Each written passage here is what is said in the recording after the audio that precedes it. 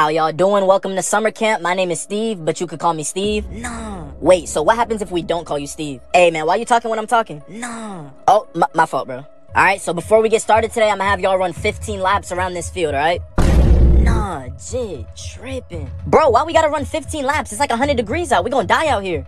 Look, man, when you run a summer camp, you can make the rules. Is your name Steve? Dog, nobody wants to be named Steve. No, Um, Steve, it's really hot out here. Can I get some water? Yeah, girl, go ahead. Yeah, man, it's hot. I can get some water too? Nah, bro, we actually ran out.